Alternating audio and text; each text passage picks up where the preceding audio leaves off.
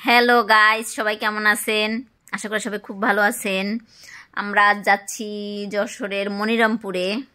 তো আমরা এখন একটা মাঠে নেমেছি। এখানে শস্যের ক্ষেত আর শস্যের ক্ষেত দেখতে এত অসাধারণ লাগতেছে। প্রকৃতির সৌন্দর্য, না নেমে ছবি না করে আর সরি ভিডিও না করে আমি পারলাম না। এত ভালো লাগতেছে। তো গাই যেখানে আমরা দেখতে পাচ্ছি সরিষার ক্ষেত। সে বিশাল সরিষার ক্ষেত দেখতে পাচ্ছি। দারুণ লাগছে দেখতে। হলুদ আর হলুদ। মাঠ যেন হলুদ সাজে সেজেছে।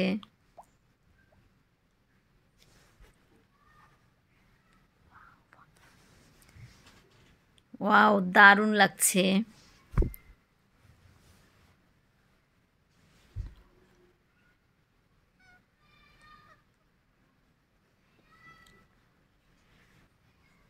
মৌমাছি মধু খাচ্ছে সর্ষে ফুলের মধু।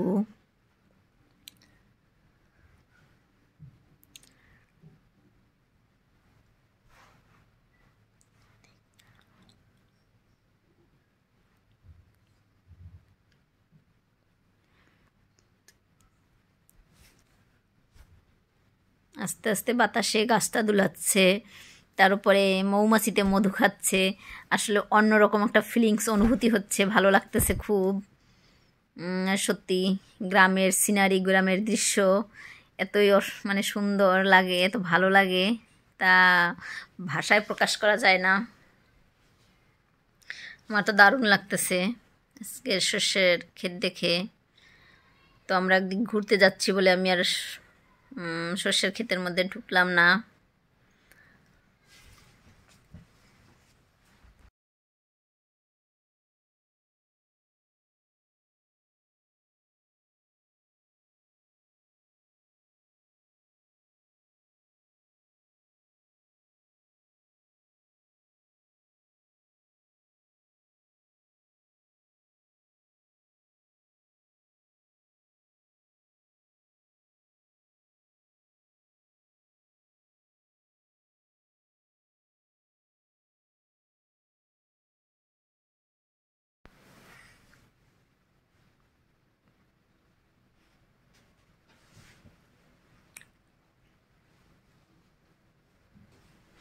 গাছে হাওয়া দিচ্ছে, গাছ আস্তে আস্তে নতুন বউয়ের মতো দুলতেছে।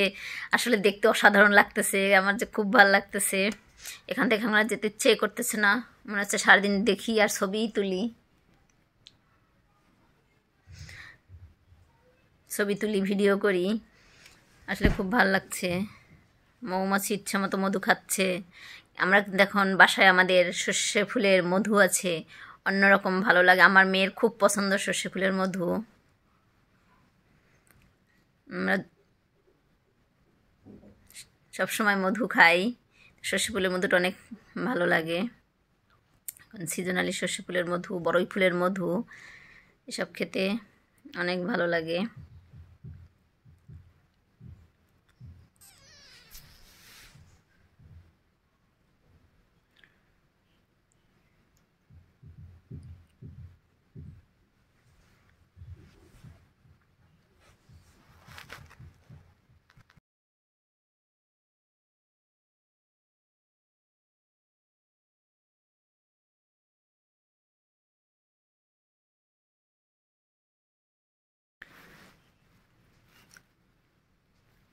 তো গাইজ এইখানে মুসুরির ডাল।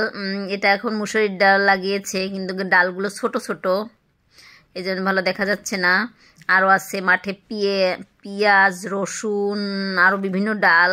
মানে পুরো মাঠেই বিভিন্ন সবজিতে ভরা।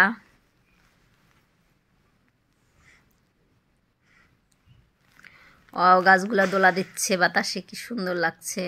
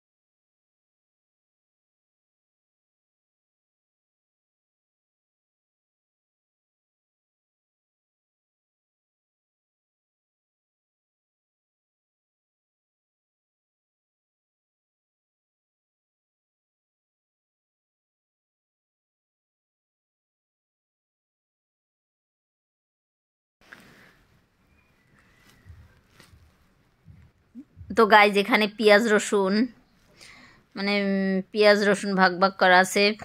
আসলে বোঝা যাচ্ছে না কোনটা পেঁয়াজ, কোনটা রসুন। গাছ বড় না হওয়া পর্যন্ত বোঝা যাবে না।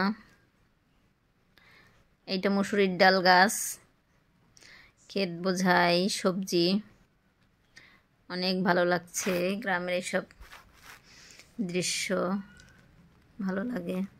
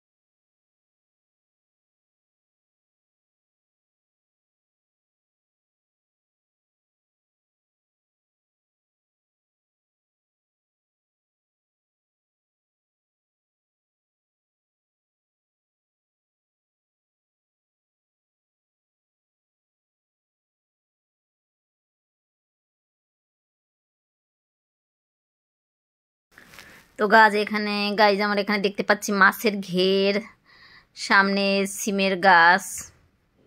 আসলে অনেক প্রাকৃতিক সৌন্দর্য, অনেক ভালো লাগতেছে প্রাকৃতিক সৌন্দর্য দেখতে। So guys tata bye bye